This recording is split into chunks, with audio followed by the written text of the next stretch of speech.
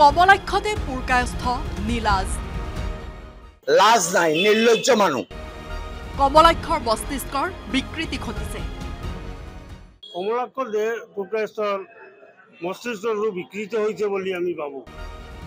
কৰিমগঞ্জৰ জিলা কংগ্ৰেছৰ কাৰ্যালয়ত কমলাক্ষদে পুৰকায়স্থক তোলা ধূনা কংগ্ৰেছ নেতা কৰ্মী।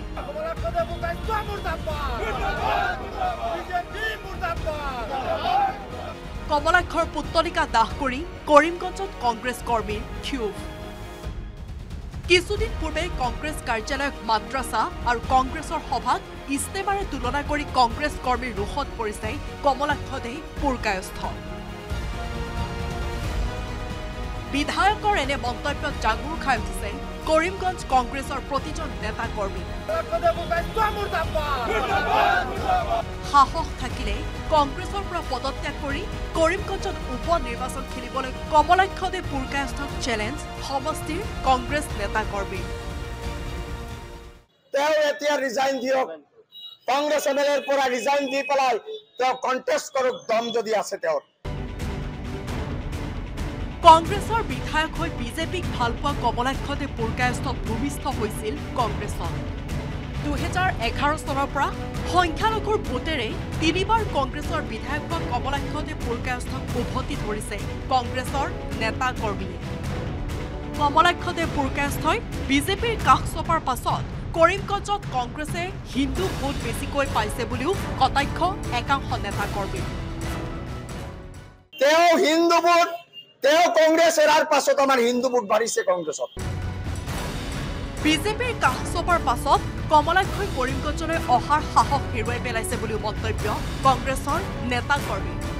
বানৰ সময়ত কৰিমগঞ্জলৈ অহাৰ সলনি কাটিকৰালৈ যাওঁতে বিজেপি কৰ্মীয়ে কমলাক্ষক বহু খেদা দিয়াৰ কথা দোহাৰিলে কংগ্রেস কর্মীরা যে দলে উনি যাওয়ার জন্য শরণাপন্ন হয়েছেন সেই দলের যারা তৃণমূল স্তরের কর্মী কাটিগড়াতে ওনাকে খেদা দিয়েছিলেন। কৰিমগঞ্জৰ লগতে কাছাৰ জিলাতো কংগ্ৰেছ কৰ্মীৰ ৰোষত পৰিছে। কংগ্ৰেছৰ বিধায়ক হৈ বিজেপিক ভালো পোৱা কমলাক্ষদেৱ পুৰকায়স্থ। কাটিকৰাতো বিজেপি কৰ্মীয়ে বহু খেদা দিয়া কমলাক্ষদেৱ পুৰকায়স্থ। কোনো দলৰে সদস্য হোৱাৰ যোগ্যতা নাই বুলি স্পষ্ট কৰি দিলে কাছাৰৰ কংগ্ৰেছ কৰ্মীয়ে। আজকে ওনার কোনো অস্তিত্ব নেই, কোনো পরিচিত রাজনীতিভাবে ওনার কোনো পরিচয় নেই। উনি আবুল তাবুল বকে কীভাবে বিজেপির শরণাপন্ন মানে হবেন, বিজেপি কীভাবে খুশি হবে, সেই বিজেপিকে কুচামুত করতে উনি ব্যস্ত। মুখ্যমন্ত্ৰীৰ ভয়ত বিজেপি আৰু আৰ এছ এছক সন্তুষ্ট কৰিবলৈ কমলাক্ষদেৱ পুৰকায়স্থই আবুল তাবুল বকাৰ অভিযোগ বৰাক উপত্যকাৰ কংগ্ৰেছ নেতা কৰ্মীৰ। একবার বিধায়ক পদ রিজাইন দিয়ে উনি নির্বাচন খেলে আসুক তখন আমরা দেখব কত দানে কত চাউল হয়। ওনার পায়ের নিচে মাটি নেই উনি আবুল তাবুল বলছেন। কৰিমগঞ্জৰ পৰা গৌৰীশ নন্দী আৰু শিলচৰৰ পৰা Aniruddha লস্কৰৰ report news eighteen Assam north east.